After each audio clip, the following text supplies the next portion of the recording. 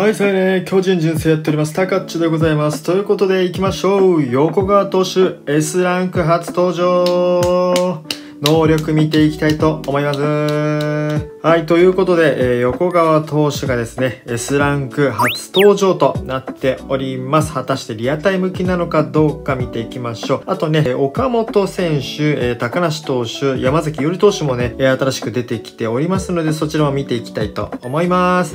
では、えー、まずは横川投手からですね、えスピリッツ4400で来ております。9位が72、請求74、スタミナ72ということことで、称号で9位請求の同値、まあ、もしくは、えー、全同値いけますね。うん、まあまあの能力じゃないでしょうか。続いて球種と適正なんですけども、先発で中継ぎもいけると。まあ、現突でいけると。で、球種がマッスラ、カットボール、スラーブフォーク、高速スクリュー、カーブといったところですね。まあ、スピードもね、ちょっとそんな速くないですし、まあ、いい、いい、いい、C、C、いいというところで、まあ、この球種だけだと正直ちょっとリアタイ向きではないかなといった内容になっております。まあ、せめてタイピンとかあればっていうとこなんですけども、特殊能力も上から超援護、キレ、打たれ強さといったところなので、この超援護がね、リアタイ向きではないので、えー、結構ね、厳しい横川投手は、初登場はちょっと厳しいものになりましたね。そうですね、来年以降にこれからのね、成長を期待して応援していきたいなといったところでございます。はい、じゃあここからね、A ランクの岡本選手、B ランク高梨で、D ランクの山崎伊織といったところを見ていきたいなと思っております。さあ、果たして能力はいかほどということで、まずは岡本選手から、えー、ミートがね、結構上がっております。6ぐらい、ミート6ぐらい上がりましたね。でこれ A ランクですので、S ランクに換算するとプラス10、ここから上がるので、ミートが75、パワー83、総力60で出るといった感じになっております。いいですね。ミート75は過去最大の大きさなのではないでしょうか。で、守備適正なんですけども、えー、レフトがね、復活しております。まさかの、ここでレフトが復活するとは思ってなかったんでびっくりなんですけども、一応適正はサードで、こっからプラス5上がるので、サードが B の70ですね。で、ファーストが C の61、レフトが D の51、補給スローイング肩がこっから3ずつ上がるので、71、71、肩が60、といった感じになっております。いやー、なかなかね、いいんじゃないでしょうか。特殊能力が上からアーティストというのが分かっております。まあ、あとはね、変わらず、え、広角、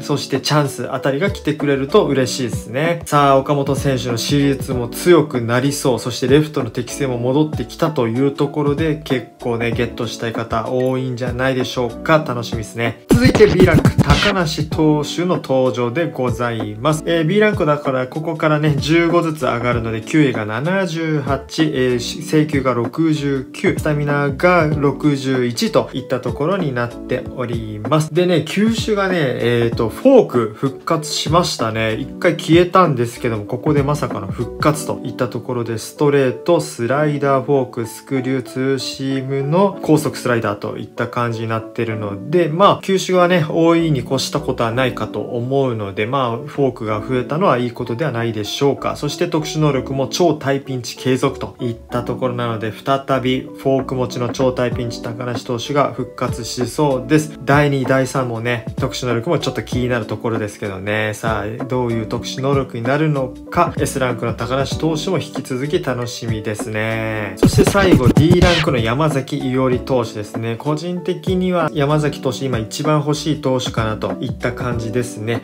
D ランクなのでプラス30加算されて73、77、74といったところの称号で請求 A まで持っていける能力になりましたね。いや、すごい。すごいです。どんどん上がっていく。いいね、山崎投手。先発と中継ぎも、えー、現突でいけるといったところで、球種がストレート、高速シュート、サークルチェンジ、フォーク、カットボールのスライダー、ツーシーム、縦スラといったところで結構球種も豊富となっているので、うん、やっぱね、強いっすね。だんだん強くなってきてる。いや、いいね。で、特殊能力がね、まだ分かってないんだけども、まあ、ここでね、引き続き対ピンチとかつくと結構強いかなと思うので、まあ、山崎投手、まさかの超対ピンチがつくとは思わないですけど、まあ、まさかの超対ピンチついたらツーシームとか A になるんでね、スラ、カットとかも6になるんで、めちゃくちゃ強い。フォークも6になるね。うん、そこまで強くはならないとは思うけども、せめてまあ、2番目の第2特殊能力ですね。対ピンチはついてほしいなといったところでございます。山崎投手、今一番欲しい投手、S ランク早く出てほしいっすね。といった感じになっております。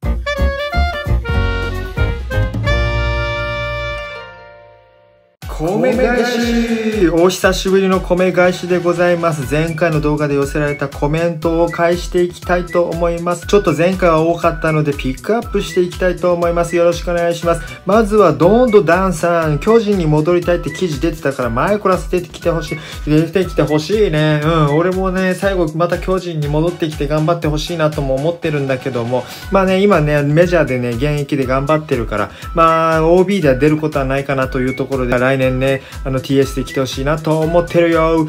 続いてトマトジュースさん。個人的には未所持の高橋由伸さんが来てくれること、あと長島さんもっていうことで、未所持だったら高橋由伸さん来てほしいね。めちゃくちゃ強いから。あとは長島さんもね、僕俺俺もね、ちょっとね、久々にまた来るんじゃないかなと思ってます。はい、といった感じですね。高橋由伸はゲットしてほしいよ。うん、取ってね。うつつさん。他のアーティストとポジション被ってないし、マジでゴジラのアーチキはいや、ほんとよ。本当にそうなのよ。来年 TS 巨人丸取って、純正リボン取るの来年はもう絶対純正取る。もうね、本気出す。本気出すよ。本気出してたけどね。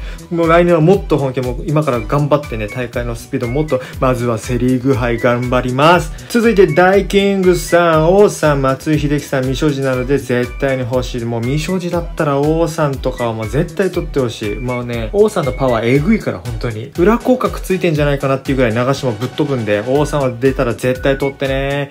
あーさん、顔出し助かります。